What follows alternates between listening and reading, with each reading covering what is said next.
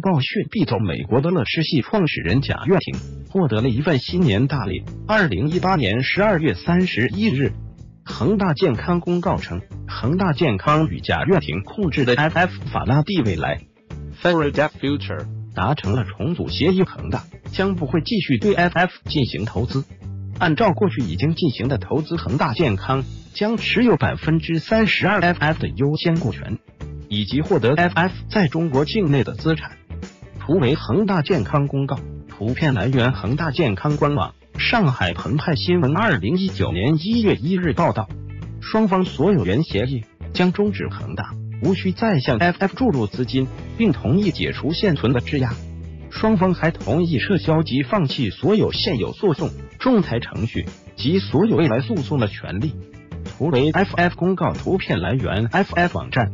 法拉第未来在随后发布的声明中表示，此次新协议是石影公司恒大健康全资子公司与 FF 基于公司股东、合作伙伴和用户的长远利益考虑达成的一致意见。双方将根据新协议就 FF 股权结构及相关股东对应的权益做相应调整，同时。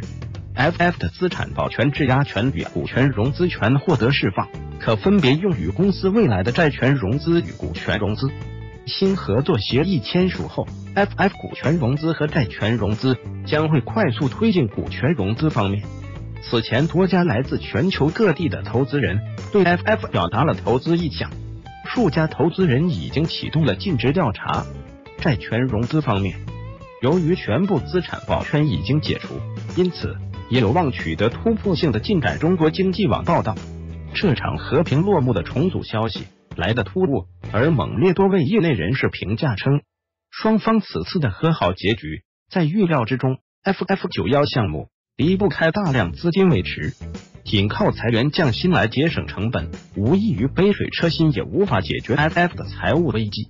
若因合作破裂，导致 FF 无法运营 FF 九幺，不能实现量产，恒大无法获得任何经济回报，之前的投资也很可能付之东流。而中外管理杂志报道称，恒大这次出人意外的选择让步，正是研判贾跃亭及 FF 前途渺茫之后的无奈选择。